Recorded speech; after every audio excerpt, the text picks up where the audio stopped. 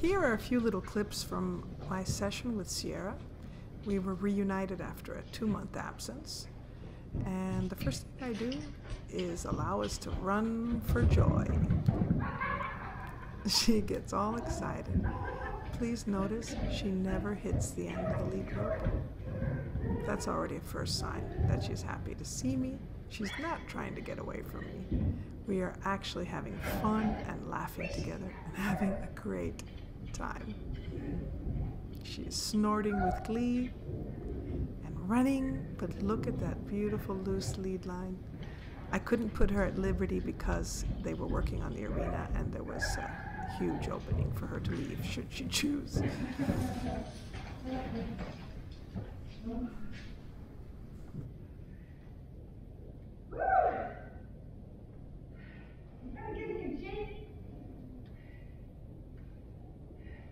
I'm struggling to catch my breath, but it feels so good to be loved by her and to see how much she enjoys our interaction.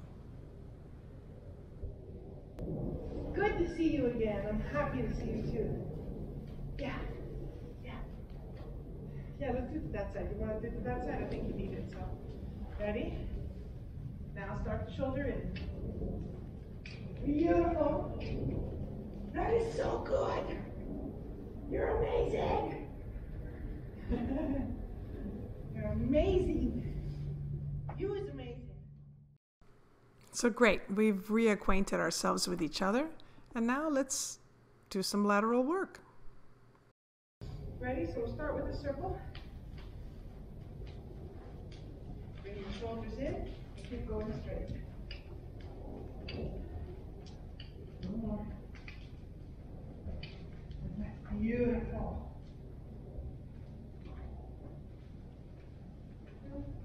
Bring your shoulders over. Behind leg up. Yes, that's a perfect little shoulder in. Perfect shoulder in without too much stress or effort. Look what a dressage queen you are. You're so good. So, even though Sierra knows the treat protocol, every now and again she might forget, right? So, I always use every opportunity to reinforce good behaviors, good habits, and remind her of what I like or don't like as well. How you feeling? Oh, I feel so much better. I use this opportunity to check over parts of her body that in the past were tight and I find them softer. So I know she's been doing great work with her owner. I feel so much better. I love it. I love it. You look great. How are you feeling? It's pretty clear she's asking for a treat. So here's a chance to give it to her and train her. You want a treat? I'll get you a treat. So she knows she's not going to get that treat unless her nose is in front of her shoulders and definitely not on top of me. And any slight change from where she is now will be rewarded.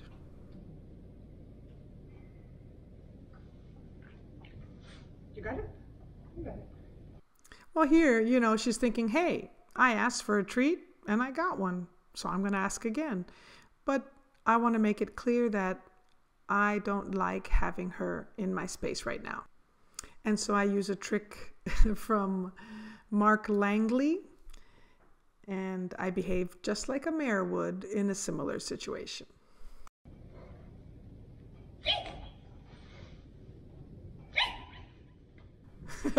Come on, you gotta have a sense of humor.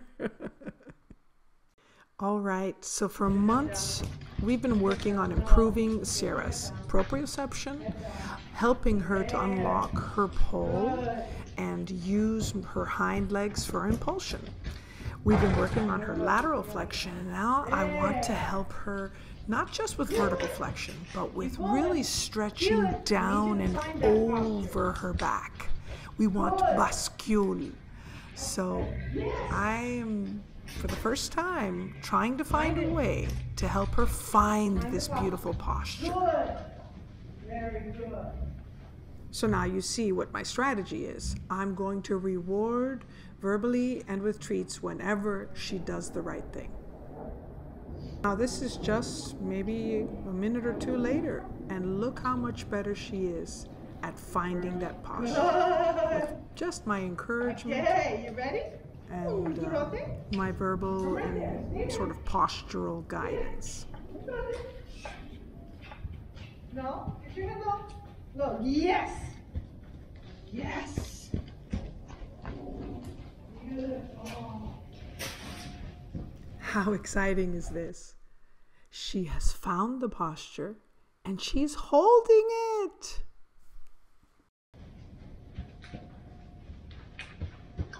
Just too good. You are brilliant. Just brilliant. Brilliant. My brilliant student and teacher. That's you. You should be proud. You're amazing. You're just amazing. Oh, her exhale made me so happy. and now we are going to move to the right, which is usually her more stiff side. And look how wonderfully she finds the posture. There! Good girl! Stay low. There! Low. Ready? Beautiful! Oh my goodness gracious! Oh my goodness gracious! Low, stay low, stay low. There, low. Stay low. Yes! Amazing. Amazing.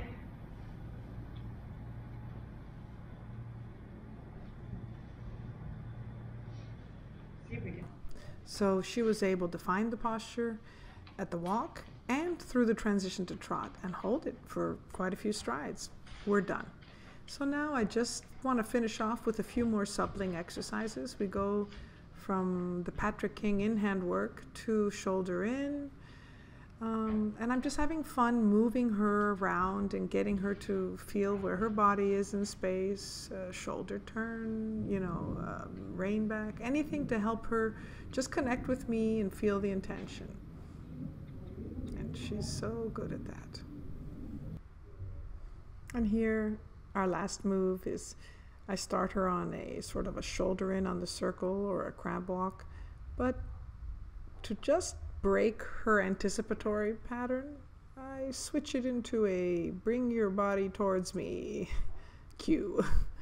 And look how sweetly and calmly she's able to respond. What a great session.